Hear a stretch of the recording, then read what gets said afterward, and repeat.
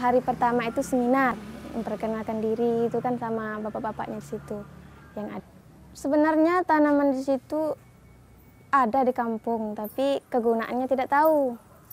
Kalau di kampung itu pohon-pohon itu ditebas harus dibakar. Kalau di situ semuanya digunakan untuk obat atau jamu. Gitu. Nah, selama di sana saya mendapatkan ilmu uh, seperti tanam obat-obatan, oka itu tadi, obat-obatan, kosmetik dan aromatik. Ya, pembuatan jahe, uh, jahe instan, jahe pengolahan yang pertama itu jahe itu dipotong-potong bukan potong-potongnya cara yang bulat-bulat gitu harus panjang-panjang gitu kan.